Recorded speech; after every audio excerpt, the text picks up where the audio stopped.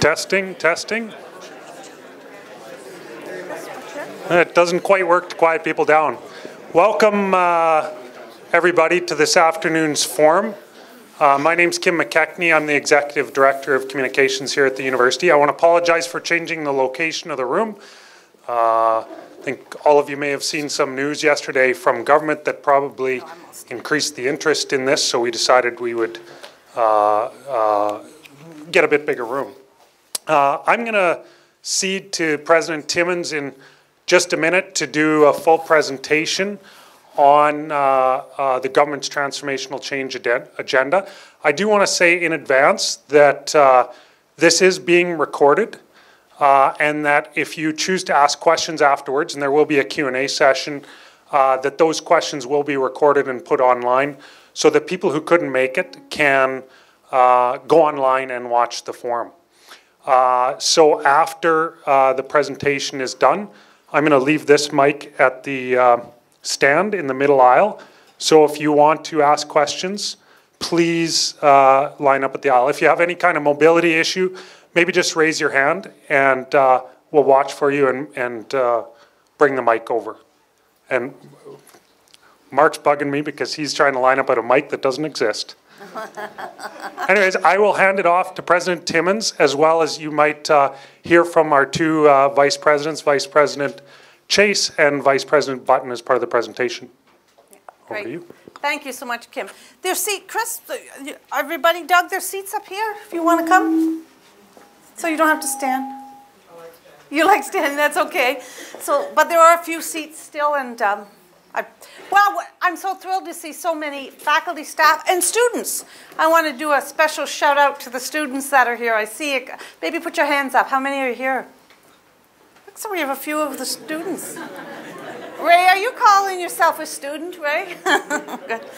So, um, this, uh, I wanted to give a fulsome presentation uh, to give you a sense of where we are in uh, the idea on a transformational change that the government put a call out to us for. And I want to acknowledge Roger, who's here today, because Roger brought up a really good point at uh, the council meeting about the powers of uh, council and, and the powers to bring transformational change. So I'm just, and, and I said to Roger at the time, Roger, we're not going to agree on this, and I'm going to put up the presidential powers here just to help you understand that Ideas come from everywhere, right? And these five transformational change ideas came from the university leadership team, through the president, through me, to you.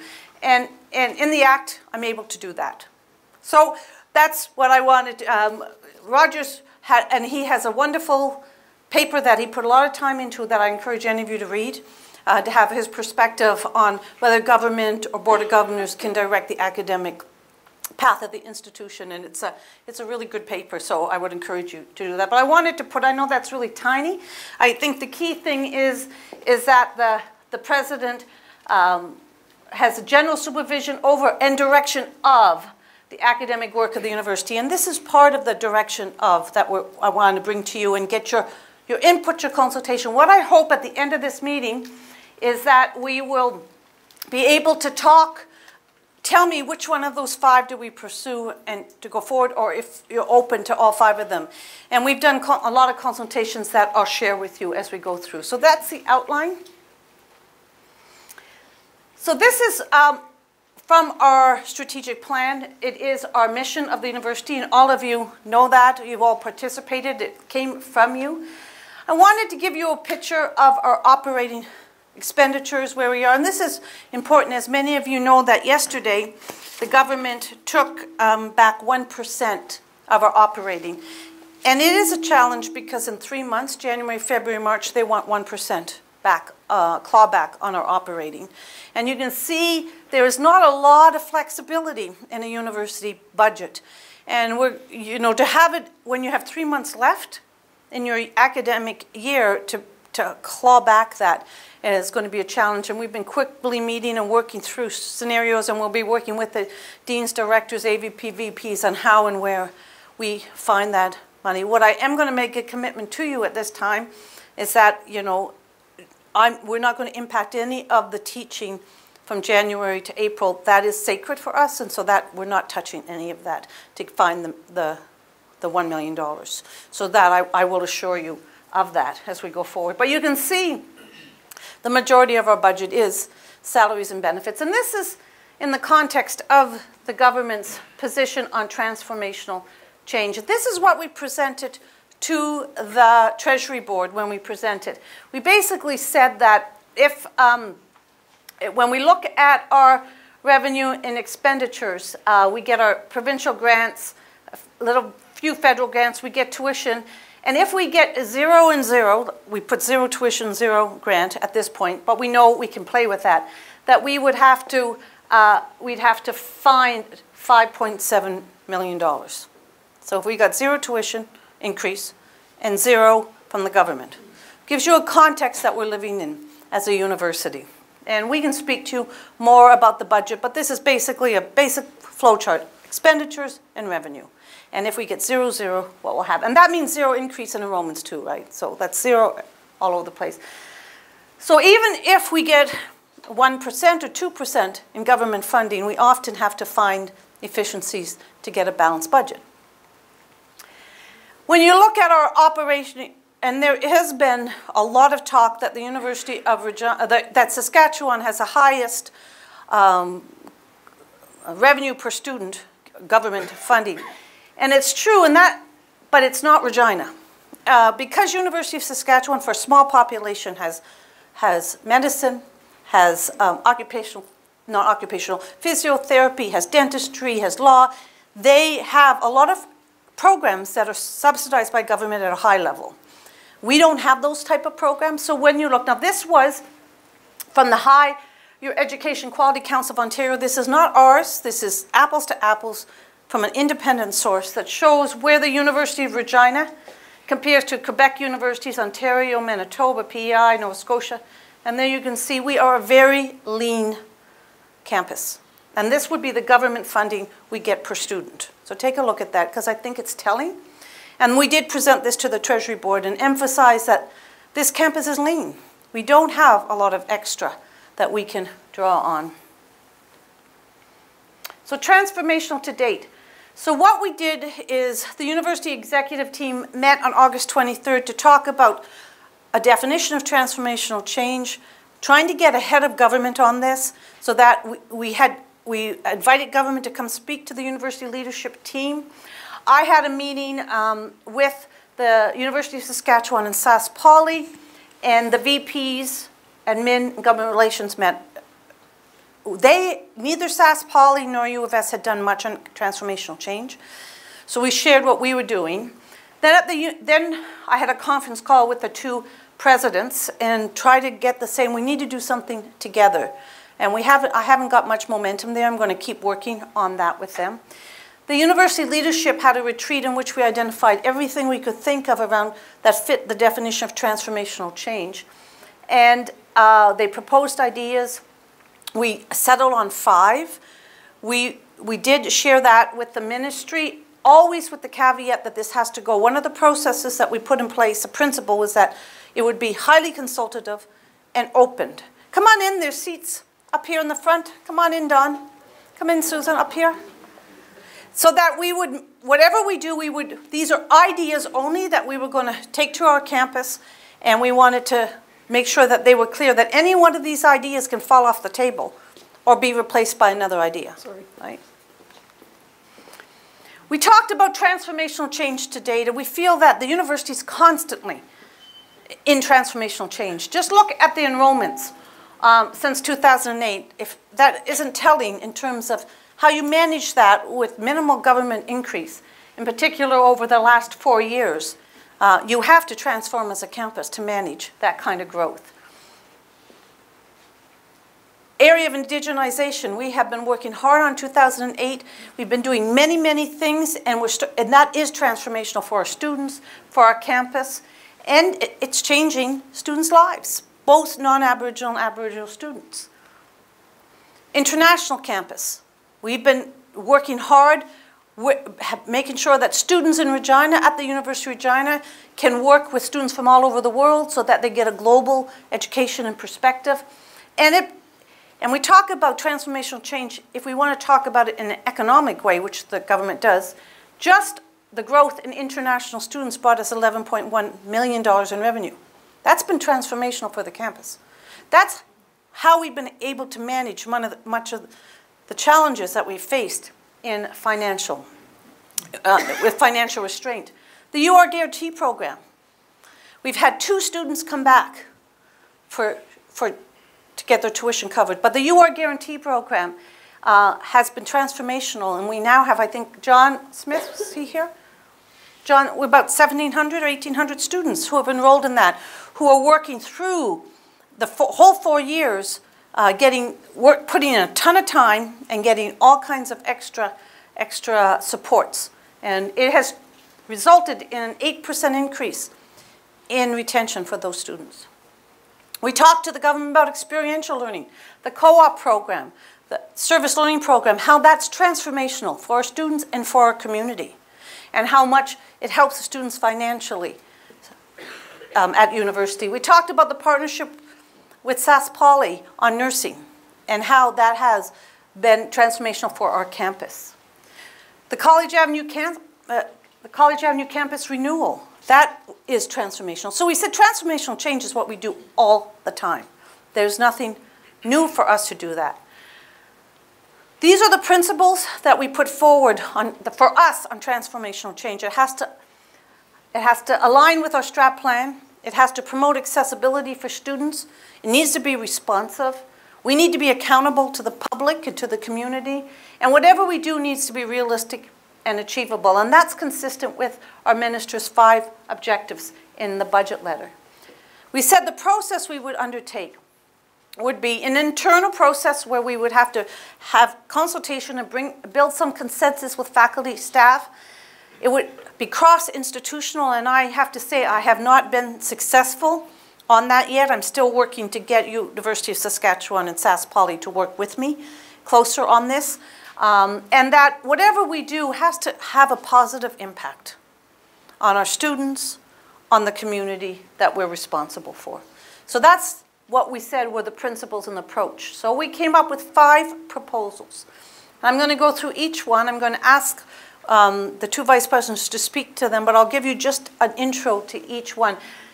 These are the five that we're bringing forward to you, and what I'm hoping we get a direction from you on let's pursue this, let's drop this, or if any of you have ideas on additional initiatives that we can bring forward, we would be thrilled. Gladys, there's chair in here. You want to come? You're okay?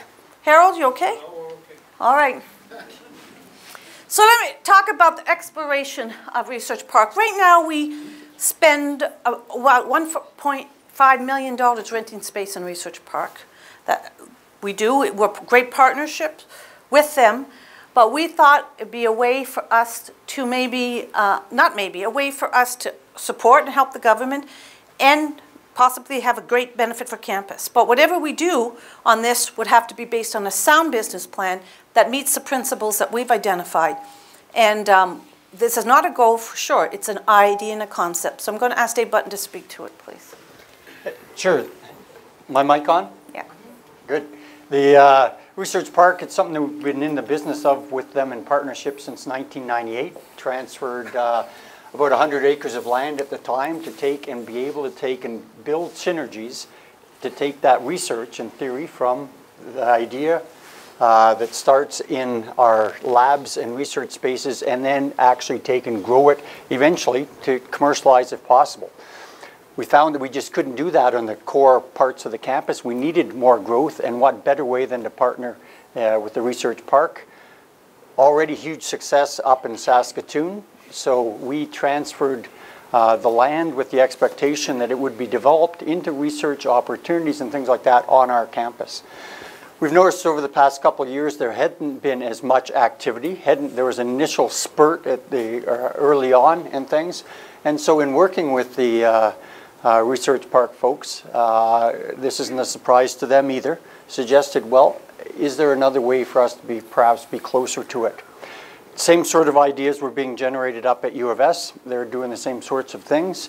Right now, of course, there's a, a common uh, Crown Corporation that takes and runs the research parks uh, together as an independent board.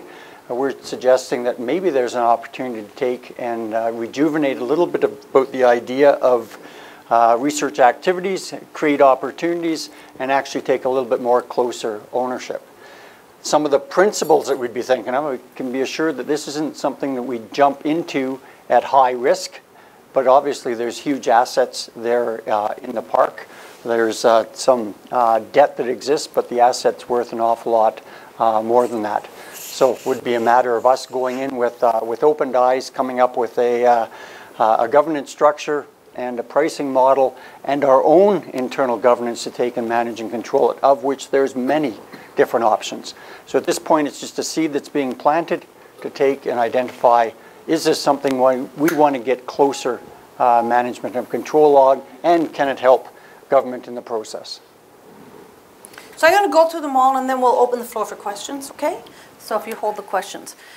Um, when we talked about transformational change, the only thing that I heard from government, I heard it from our Minister of Finance, I also heard it from the Deputy um, to the Premier at our retreat, when we said, tell us what you, how you define or what you're thinking of in terms of transformational change, and the only thing they brought up was program duplication. And so, you know, I talked at the university leadership team, you know what? Ever since I've been here for eight years, I've heard this. Do we need two faculty of education? Do we need two faculty of engineering? Do we need two? And you know, it's time to say, well, let's find out. Is If there is duplication, let's face it and deal with it. If there's not, then let's stop saying that we need, do we need, instead of having it out there all the time. So I, I'm not worried or concerned I, if we have an external team that comes in and evaluates it. So this is what we, uh, we are calling for, and I'll get um, Tom to speak to it. Can you hear me in the back? Um, the, the three that are named there first arose in a comment made by the Minister of Finance at an earlier update. You probably recall that about five or six months ago. And he said speculatively at the microphone, why do we have two faculties of education, nursing, and uh, engineering? Um, that, I think, reflects some puzzlement out in the province, particularly in the rural areas people who don't perhaps understand the, the lie of the land and the educational needs of the cities and the regions, saying it doesn't make, it doesn't seem to make a lot of sense that in a province of 1.1 million people, we have two education programs, two engineering programs, and so on. As Vianne has said, though, uh, we are very confident that if we did undertake an external review, and that would be outside eyes, probably eyes from outside the province, we would do that collaboratively with the University of Saskatchewan and with the ministry. We are very, very confident that the evidence would show that there is no reasonable definition of duplication there. Both of those faculties, both faculties of education, both faculties of engineering, and both faculties of nursing are effectively full. Engineering has different specializations at Regina than it does at Saskatoon. The education programs at Regina differ from those at the University of Saskatchewan and so on and so forth. Plus, the most recent data that we've been able to see is that most, if not all, of the graduates of both programs at both universities find employment within six months of graduation. So there is not a labor market oversupply. There is not real program overlap. There is an appearance to some that a faculty of education at Regina and a faculty of education, to use that example at Saskatoon, don't make a lot of sense. More recently, what we're hearing, because this was a speculative remark from the Minister of Finance, is that the real attention needs to go onto nursing. And again, not that there's oversupply, but that the kind of Frankenstein's monster, quite frankly, that government created in the two-provider, two-city model, where we are teaching in Saskatoon and the University of Saskatchewan program is teaching in Regina, does need a look. Is that the best way to do things? But again, both faculties of nursing, our program in collaboration with Sask Poly, and the University of Saskatchewan are full. So we're putting this out. If we were to do this, we would talk to CCAM. We want your input as to whether you think it is advisable. And again, to echo the President's remarks, we are absolutely confident that any external review would show that there is no call amalgamate either education or nurse education or engineering, there may be a call to look at how we deliver nursing, but that's not an amalgamation of Saskatoon and Regina faculties. It's a rationalization of teaching in each other's cities. I'll stop there. And if there's areas that we can get more efficiencies, then we want to know, right? So that might help with that. The seamless credit transfer, and I, for the last number of years, been uh, I was working with U of S and Sask Poly on a committee to look at credit transfer, and it baffles me that we still have problems transferring credits between University of Saskatchewan and University of Regina. So what we talked at University Leadership Team was that the University of Regina could take a lead on this and, and be completely student-centered and focus and support a seamless credit transfer for students. We know the data on transfer students. Brian has given it to me. Students who transfer into the University of Regina do better academically, are more successful than the average student. So this is not an issue around, well, we're going to take students with low quality. The students are transferring, do very well here. But it is cumbersome and challenging for our students to figure out the pathway. And so we're looking at that. So I'll get you to speak to that, Tom. Again, just a, a, few very brief additional details. The registrar, Jim Darcy, and his team are beginning to look at some principles there. What we want to do is automate the process more fully.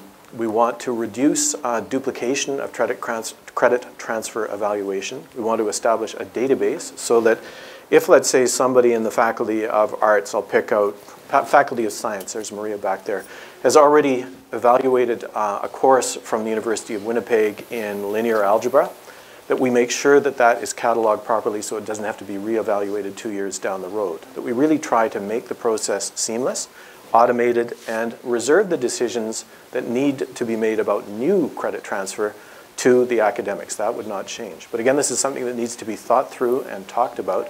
The other thing that we would hope is that an end goal would be that if you receive an offer of admission to the University of Regina as a potential student, at the point of the offer of admission, you have a clear indication of what we will accept as uh, transfer credit at that point, which we hope will encourage more students to transfer into this environment, into the University of Regina in an increasingly competitive so why don't you environment.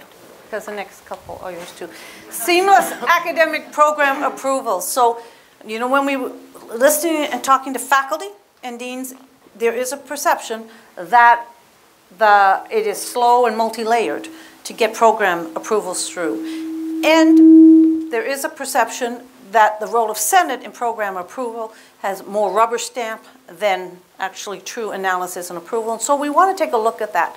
And I float out, do we need Senate? Do we, do we need a reconfiguration of Senate? Do we need a different pathway and stream? All those questions we should be asking. That doesn't mean we have a solution. We've already decided we're going to get rid of Senate. These are good questions to ask.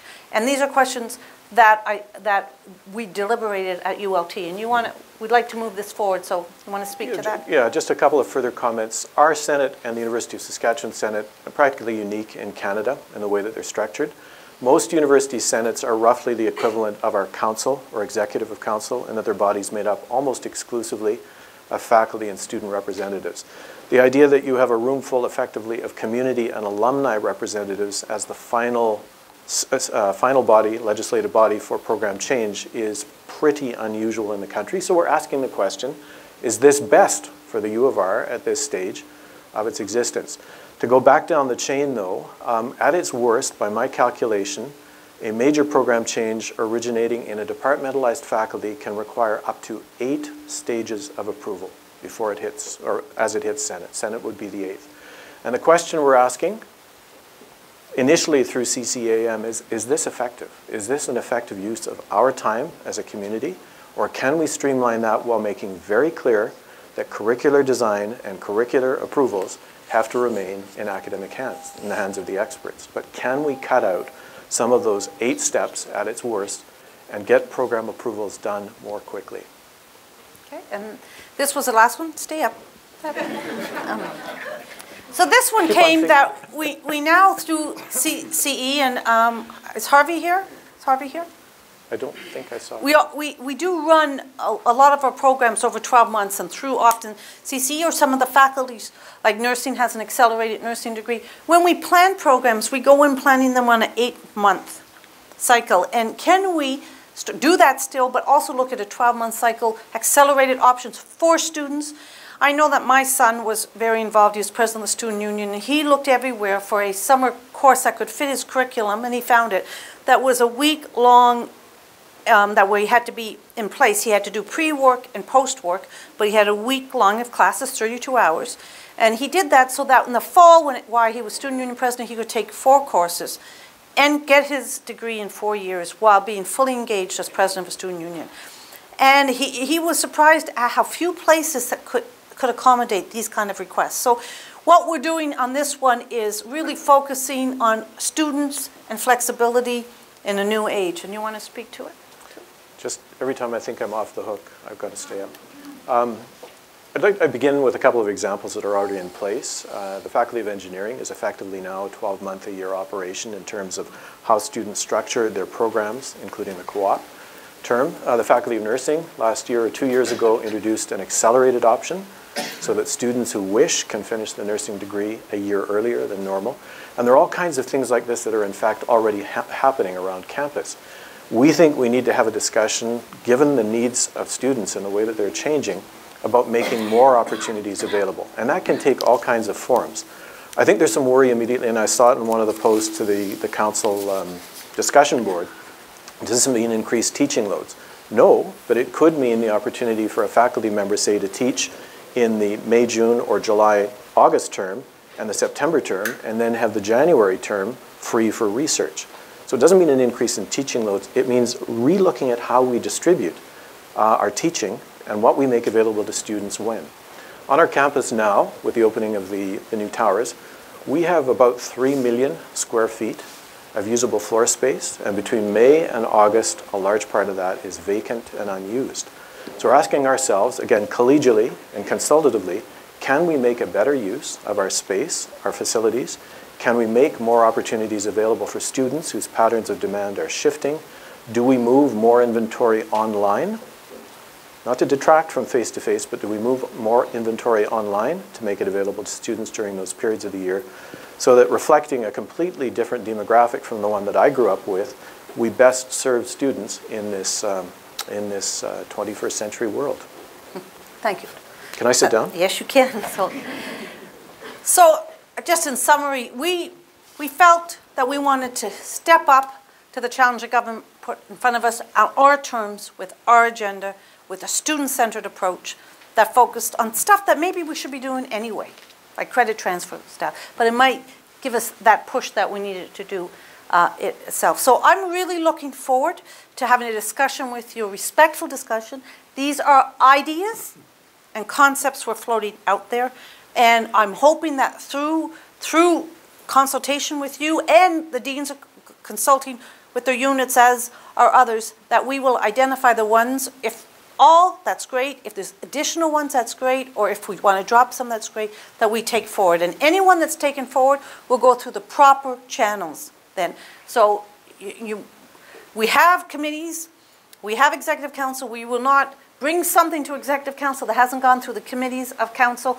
You, we are really committed to having this done right with a proper process. So I'm looking forward today to a really respectful dialogue with you and give us your input, your direction, and if you have any other suggestions that you think will, will work, then I'm looking forward to hearing it. So I'll open the floor.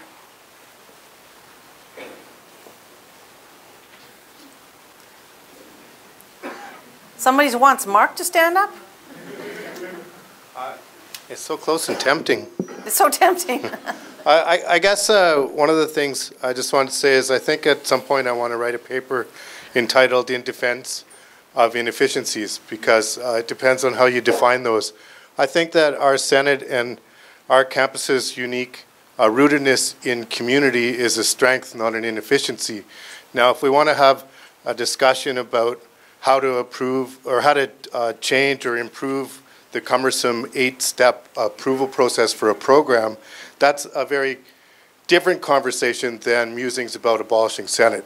And so I'd um, welcome a campus committee to look at how to streamline that process, but uh, I'd be vehemently opposed to any discussion of abolishing Senate. And so I wonder if you wanted to comment on that. Well, I, will I think that's the kind of input I'm looking for, Mark. And so, you know, and I'm the one who was doing the musings, by the way. And I think, uh, and I, I don't apologize for saying, you know, is Senate serving the kind of purpose it could serve? And it's a community body that I think can have great power as a window to the community. But is it a needed step in the program approval model? So I, I was a bit controversial when I said abolishing Senate, but I'm open to relooking, reconfiguring Senate or even maintaining Senate's role. But I, I think we should look at it. And so um, I'm, that's the kind of input that I'm looking for. Like I'm hearing from you, the streamlining of academic probe, a good idea, something to look at. Caution around musings even around abolishing Senate, right? Okay, good. Anyone else? Roger? Sorry, if no one else is wanting to, I'll speak. Um, uh, I guess one of the things I, concerns I have is still about the governance question. And clearly, for example, the first proposal to uh, purchase Innovation Place, if I was the Board of Governors and that hadn't come before the Board of Governors for, to say, yes, we're okay with you talking about this on campus, we like this on campus, I think as Board of Governors I would be concerned. And of course, you did get the approval of Board of Governors because it clearly falls under their area of, of the Act. And so similarly, the kinds of concerns I'm raising about this needing to go to council, it could go, it can go to other parts of council, right? It could go to faculty of council if council has delegated the authority for the discussion on these matters to, uh, to executive of council or to these other bodies.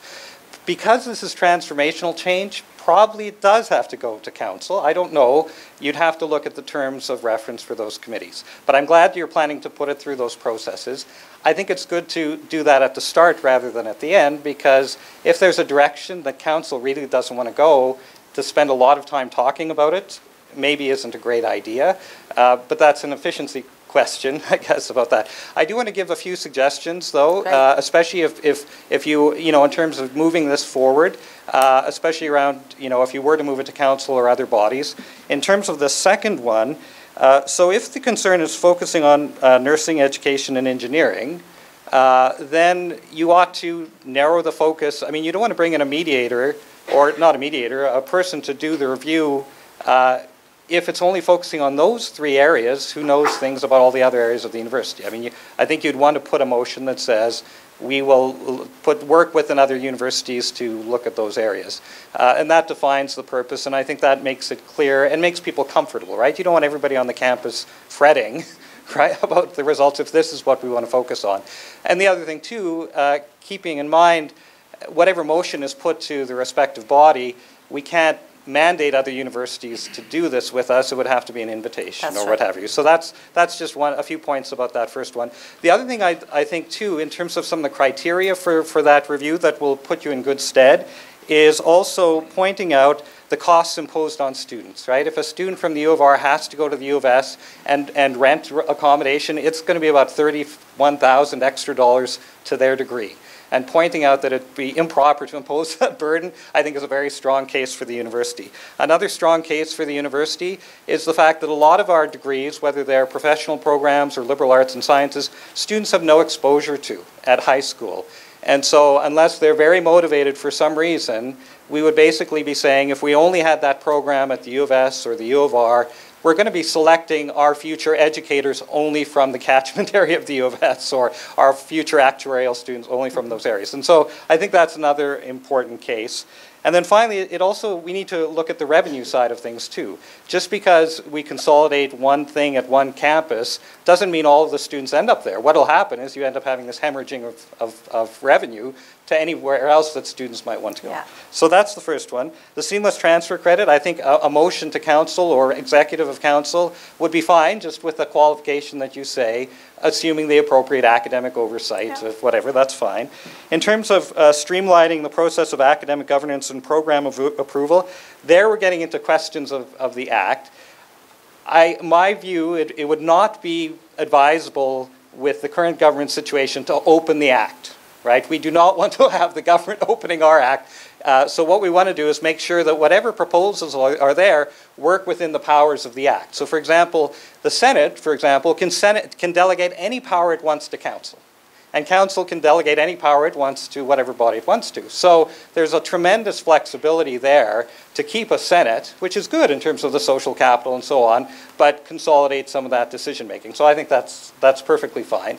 The other thing too is the council does have the, uh, the responsibility for, you know, the oversight of programs. And so that would have to go to CCAM, which I think Yeah. is what's being proposed. So that's good. But again, other parts of the university can't refer items to CCAM, right? Council would need to refer this to CCAM, which I think they would. I think council would say, yeah, that's a good item for CCAM, come back with a report and tell us what you want.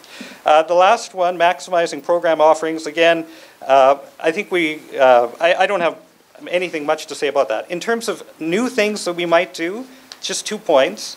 The first one is transformative technologies.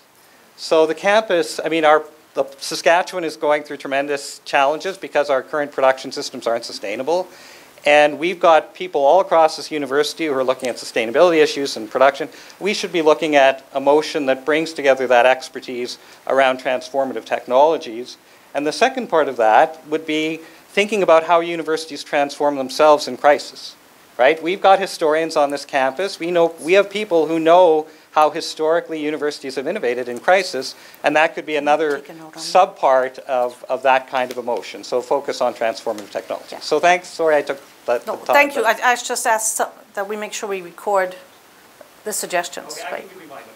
Yeah, that's good. An email, I love that. So, great comments. Other comments? Yes? I probably can be loud enough. I was wondering if, uh, from Sure. I'm sorry. Oh, I got it. Um, So I was wondering if you could um, provide a little bit more detail on how this research park could be a net revenue generator, because uh, at, at least I know myself, I'm not very familiar. So uh, that is one. And my other comment is I appreciate um, the conversation because my first reaction to this external review program duplication was we legitimizing perhaps a claim that is not uh, based on evidence. So uh, I appreciate that this is an external review that is perhaps going to uh, have the jury out there and then put this uh, issue to the rest. So I appreciate that. Yeah, so that's what I'll speak to first, and then get you to speak to Research Sure. Park. So, I, I, I was head of education at St. FX in Nova Scotia when they did the rationalization of teacher education, and we, we had, we did, they, the government closed Dalhousie's teacher education program, St. Mary's teacher education, St. FX's teacher education program, and Teachers College. We fought back at St. FX and got reinstated. But there's still four teacher education programs in the small province of Nova Scotia. Right? So I've, I've been through that. Often they were going to do computer science next, and after the horrific experience they had with education, they didn't do any more rationalization programs. So, you know, I, I think if they if they decide to look at one, they'll see all the pitfalls that, that you mentioned, the principle of accessibility, the challenges about this. You know, it, there are still education faculty members at St. Mary's University, which doesn't have an education program, to this day, teaching there. And that happened in 1994. Because you can't just get rid of the, like you don't get rid of the faculty, you are obligated to, and we would be too. So the, I think once anyone looks at this logically, at, and they'll say, it doesn't, a, a province of over a million is a big province. Having two is not that many, right? In terms of a province with this space. Look at uh, Nova Scotia, which is a tiny province and space-wise, that has four teacher education programs. So I, I do think in nursing we can learn. It's a brand. It was a brand new program, a different model. We can do some learnings from that. And my sense is that we will find maybe some areas we can tighten up in the nursing program. My sense, as uh, the provost mentioned from uh, the University of Saskatchewan, they're not interested in going with education engineering, but they're open to nursing. Government, my sense from government is the same thing. Now they're back, like we called them on it. You want to do it? We'll we'll do it with you. We'll, and now they're backing off and saying, well, maybe we'll just look at not redundant, like duplication of the, the faculties, but maybe some efficiencies we could get in nursing. So it's a very different conversation that we're hearing now. And you want to speak on the research park? Uh, Sure, and, and just so I get the right, the right context, which part of it that was that you were exploring? One of the points was that could be potentially uh, net revenue generators. Sure. If you could just Yeah. br- briefly. like, Sure. Most of us don't know. And maybe, I- maybe I'll speak in terms of net benefit positive. One of the things I did speak a little bit about was being able to take and uh, develop research opportunities easier. Like if we have more direct uh, engagement and control and things like that. I, I over the, the time I've been here, have watched a number of different uh, opportunities for research sort of die on the vine because of space and things. You just don't have it. And so the whole concept of the research park was to build more speculatively, to be able to take and seize opportunities when they came. And so if we have more opportunities for our researchers to be able to take and uh, uh, when they get research money, they can't wait for four years for a building to be developed and, and all of those things to come together. And so one aspect is just to be able to improve our lot in life and our capability to take and, uh, and, and help drive the research agenda. On the other side, which I think you're getting more to, is just the, is there a financial benefit to it and things. And uh, with, with any, any asset and things, which is the research park is basically in the business of pay, taking and developing those speculative buildings, renting them out like a landlord downtown, but with a specific targeted uh, group of people, focus of course being around research, taking and being able to take and, uh, and generate revenues. So for the right price and things, without getting uh, in, into risk and things, there are perhaps some opportunities. That, that isn't why I personally would suggest we take and pursue them. I'd be saying that this is if there's enough other net benefits of just engaging in uh, uh, and, and helping out research endeavors, and if it were revenue neutral with minimal to no risk, then that, that to me would be a, uh, a milestone.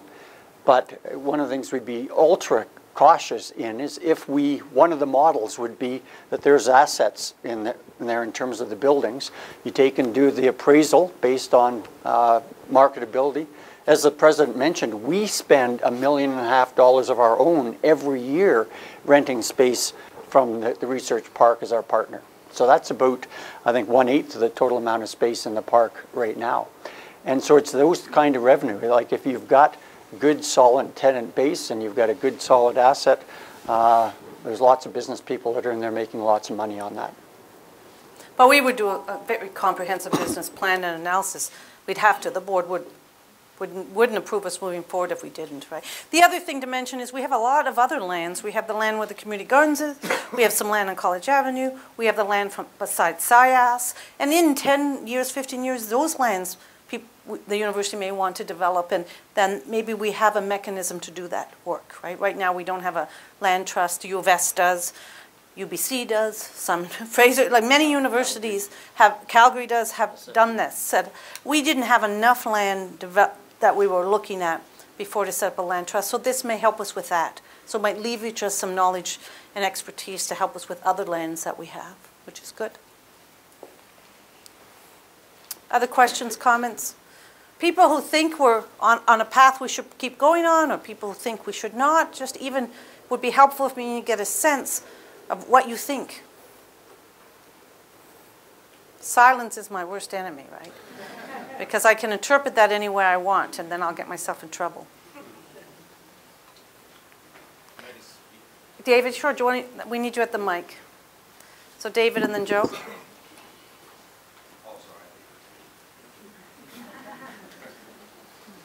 I agree with uh, that the university is always transforming, uh, and I think that's a good thing. Uh, and a lot of the proposals that are being talked about, I can agree with, uh, especially the idea of timetabling. I mean, we're dealing with a system that was maybe designed 20, 30 years ago for students that are much different.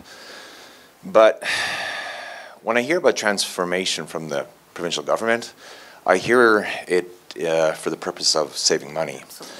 Uh, and while a lot of the proposals that are mentioned might, some of the proposals might tie into that, I'm kind of struggling to see the connection between, for example, timetabling and saving money or um, seamless credit transfers and saving money. Uh, I just, I just, I'm just seeing a bit of a disconnect here if we go to the, the province saying these are things we're talking about, whereas so what they want to see, I'm suspecting, is is the bottom line. I mean, where Yeah, can we save money? Where can we be more efficient, They do. excuse me, versus transformational? So this is perfect, David. I mean, this was a big debate we had, but we decided that they weren't giving us any definition. They weren't giving us any guidance. They just used the word transformation, and of course we know it means save money, right? So we thought, well, we're going to define it, and for a student, that seamless credit transfer will save money. For a student who has to, you know, gets three credits transferred instead of zero, that saves them money, right? And helps us with our faculty, maybe that we're not duplicating efforts, so there is some efficiency there. But we decided, we did present this to government, and I thought we would get a pushback at Treasury Board that's saying, "Uh, you obviously don't get it. But we didn't. We got, the Treasury Board said, we think this is, well, we really like that you're thinking about this, that you're using it in, on your campus, that you have different ways, five different strategies you're bringing forward for conversation. They knew it was only for conversation. So um, they, they, that was my, one of the worries when in Treasury Board saying, are they going to push back and say, you, you don't get it, we want you to cut, cut, cut? And they did not. They said, this is what we, it's a great approach that you're taking. Now, they're still probably going to cut us. Well, they did yesterday. So, and we're not naive. We know that. We know that. But we, we wanted to at least thought that maybe we could, and maybe we have eased that cut by doing this. Because I know that when the minister called me yesterday, she said, initially it was a lot worse, she said to me. She said, we worked hard to, to, and the Treasury Board presentation helped to get the cut to the 1%. So maybe it, helped with that because we look like we're being proactive and trying to, to bring some initiatives. I don't know, right? Joe? So maybe you've answered uh, part of my, my comment that I was going to make more in the question, is that, first of all, thank you for trying to get ahead of this um, with some ideas, and I welcome council to get, get ahead of this as well with some other ideas. Um, Because at the end of the day, I think what we saw yesterday really doesn't matter. I mean, the government Well, it may have, we don't know. it may have, right. So I hope that's, that's positive news, but, and we know that the economy is not going so well in the province, and budget's going to be tighter next year, so transformational change, I think we should just be looking less maybe what the government wants us to do, but what we need to do internally, because we are, we are going to be forced to do transformational change. Yeah, yeah. And so I welcome, I welcome other ideas. I, I do too. I really hope that, that you'll come up with some and send them forward for exploration. Questions, comments?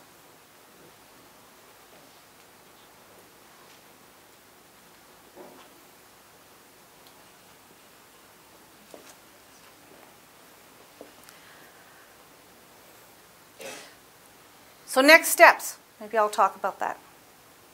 So next steps in, is that I- what I, I'm going to ask is the provost takes the four that have to do with academic matters and gives me a plan of action for each of them, in particular ones that have to, to be taken through the council committee on academic matters, or council committee on budget, or council committee, any of the council committees, so that we get a plan and that we honor our academic approval processes. And I'm going to ask uh, the VP admin to work with the University of Saskatchewan. They've already started that and have conversations with Research Park and, and maybe put forward and start getting the conversations going with the government. I want to check with you, is that all right? Does anyone have a different suggestion for me, a different path? Any of these can fall off. If it goes to the Council Committee on Academic Matters and they say, well, we really don't think that we have, there's a need to streamline academic program approval once we look at it, then that's fine, right? We'll honor that. Chris? Yeah, so that's, um, triggers a question for me then. Process, so VP admin, VP academic, where's the VPR in this? So how come these transformational changes? The academic mission is teaching and research. And so I'm hearing about how we're doing things for, and the only word I heard from about research came from the VP admin on the research park. That also gives me concern. The university is in the business of teaching and research. We're not in the business of real estate management. We're not in the, we may be by design, but th- I don't think those, are- those are things that just come to us. You have to manage residents, you have to manage this. To actively seek it out opens up a whole area of now we'd have to put our energies into becoming real estate experts. Our energies are finite, they're pushed to the boundaries already. We need more energies put into becoming better at research and better at our teaching missions. Our research right now, InfoSource puts us at our lowest ever in rankings. Our dollar values are on a steady decline down in terms of research. The only thing I see there that really speaks to what the government wanted, and you said that yourself, the government did come back with you with something, and they talked about, you know, what's this, the issues around nursing. That is a huge issue. If I'm riding my bike to work every day and I'm seeing on, you on Regina Transit, come study nursing in Regina, and it's U of S. I, I mean, I can't believe that the government, and you're right, the government created this crap. Now, yay, maybe we get to fix it. That's a good place to be putting all this energy because that is that helps students, that helps faculty, that saves money. So yeah, let's put lots of energy in there. I worry if we start spreading ourselves thin on our expertises and try to become real estate people, that's not a good idea. To address the idea about things dying on the vine because we don't have space, that's an internal problem then. That's not going to be fixed by this. It really isn't. And I do worry, we're talking about all this in investing when our research successes are on the decline. NSERC, so I sit on the NSERC committee um, for discovery research. U of R last year, 33% success rate for established researchers. The next lowest across Canada is 50%. The average is 75%. We're 33%. So transformational change, absolutely. I worry when we get bogged down in trying to be ahead of the government and anticipating what they want or don't want. So I haven't heard anything about process for transformational change that involves the VPR. And so that oh, That's would really be- a good question. And I'll question. end there. Yeah. So there's, you know, more comment than question, I guess, but those are my thoughts. And that's a great question. VPR was intimately involved in all of the work around identifying the five. So he, he was at the table with us. Um, Chris, I would love if you brought forward some suggestions around how to support our faculty in the research produ- productivity. And uh, I've asked the VPR to give me a plan specifically around tri-council, and he is, I know, working on that for me. So it has not been neglected or put aside, that we are having many discussions about, I don't, I mean, I, and we look at Maclean's and the NSERC results with, with the bottom. I, I don't want that. I'm like you. I'm thinking, what can we do? How can we support our researchers? And, and what's, what's going on that, that that's happening here on this campus? So I have asked the VP research, and there is some efforts being put into that for sure. So um, you're absolutely right. Around uh, the real estate management, um, I don't know what to say that except that many, many, many universities now uh, have a land trust to, to manage their lands, the university lands, to help generate revenue to support those three, acad- three academic missions, research, teaching, and service. And so we're not, the, we, got, there's lots of experience out there, lots of people doing it. Uh, we'll, we were, we're late coming into the game on that, and, and maybe universities shouldn't be doing it, but many are having successes at it. The good thing is we can look at what other universities have done and see the mistakes they've made, because there have been mistakes, like the University of Calgary president said to me, don't build a hotel on campus, um, right? Because that's what they did, and, and it was a disaster for them. So there are lots of learnings from other institutions across country, but now universities are in the business of managing their lands to try to leverage revenue to support teaching and service. And, and um, so I will say that it's not, it's not the main purpose, but it is now, out of necessity, I think universities have had to go that route. Right? Not, that, not necessarily that I want to, but I think that if, if we're going to do something, let's look at the places where we can leverage the most opportunity and learn from our colleagues across the country who have used it. Brian? So I want to speak directly to this point. Uh, As a result of a, a comment at a, a joint meeting uh, with the U of S and, and ministry people about why they have so much revenue per student compared to us, uh, they spoke to their active involvement in, in their land assets and their endowments. And that triggered a thought in, in my mind, and I got one of my staff to do some modeling on the funding formula and the impact of additional revenue in that funding formula.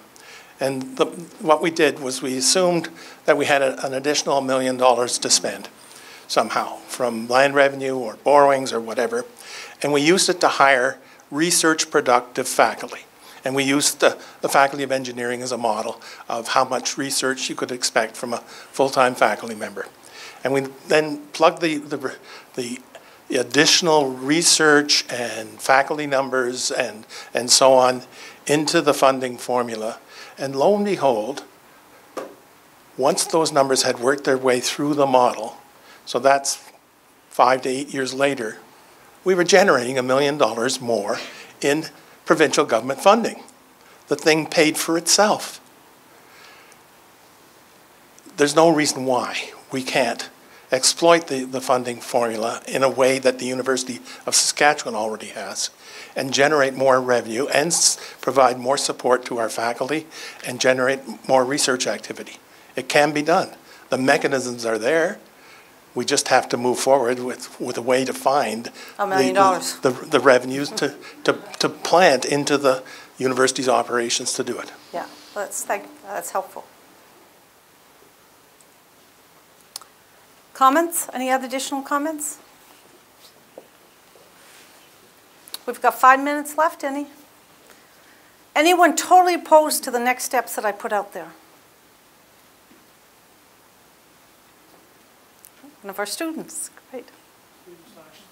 Yeah, Well, I've worked at the University of Saskatchewan, I've worked at the University of Alberta. They all have their research programs. I, one of the things that stands out me at me here is uh, the community. Um, and I agree with what the last speaker spoke about. If you put some money into research and develop uh, and faculty, you'll get that money back in the funding formula. The more money that we can use to show that we're productive, we're creating opportunities, the more money we can solicit for additional operations or additional research, and it just snowballs. Uh, the research park, I think, is an uh, interesting idea. Um, I know the U of S. If you, uh, some of you may not know, the uh, Walmart next to uh, the U of S is actually university land, uh, which I'm not putting up a Walmart. I'm just saying uh, uh, that, so, I mean, it's working for them and it's providing extra revenue into their budgets Yeah, and in- their internal processes. And I think that's something we should be looking at, uh, being that every year the government's got their hand, they're handing us money and then saying, well, wait a minute, we want some of it back. Um, And it's never going to change if we don't continue to build on our successes and create new successes. And it almost looks like, well, you spent some money this way, well, we're going to punish you this way. Uh, Let's look at why, the- uh, fixing that. But also, I think investing in ourselves is a great approach to making things better.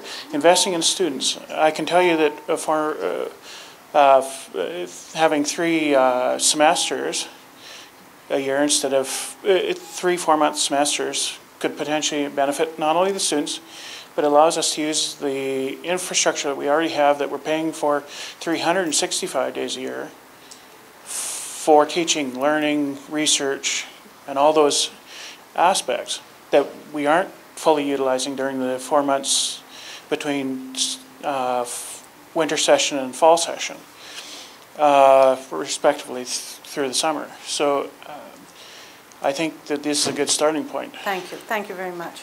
Thank you. Michelle? Um, Just one thing, I guess, to add to the mix as far as um, the maximizing programs as a 12-month institution.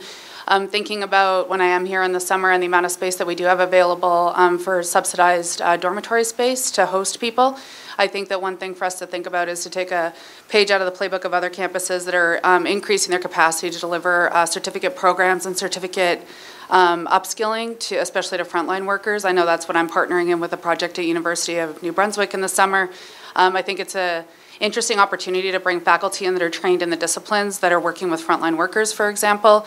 Um, and that's an ever expanding, ever expanding field that's privatized and is deeply problematic and not accessible the way it's being delivered through a privatized model versus having it delivered through subsidized uh, practices through certificate.